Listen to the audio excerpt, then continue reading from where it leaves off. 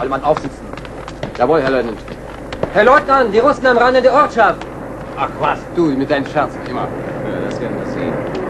Naja, kannst du mir ein bisschen helfen? Du, helf! Ach, los, los, Darling. Du, mein Päckchen,